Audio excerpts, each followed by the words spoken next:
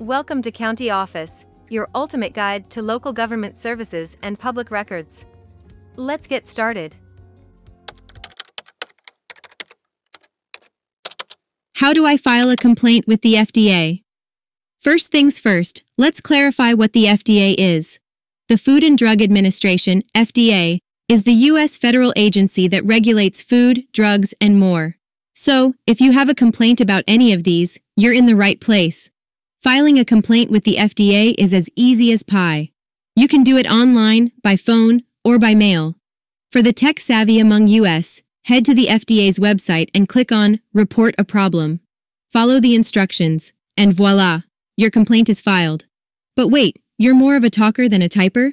No problem.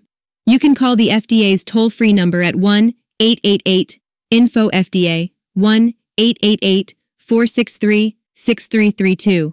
Just make sure to have all relevant information handy. And for those who love the charm of snail mail, you can mail your complaint directly to the FDA. Just remember to include all necessary details. The address is FDA, 5600 Fishers Lane, Rockville, Maryland, 20857. Remember, the FDA is there to protect us, the consumers.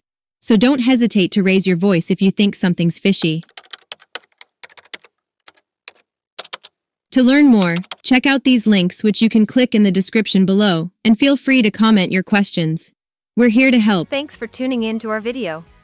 Please like and subscribe, and leave a comment below.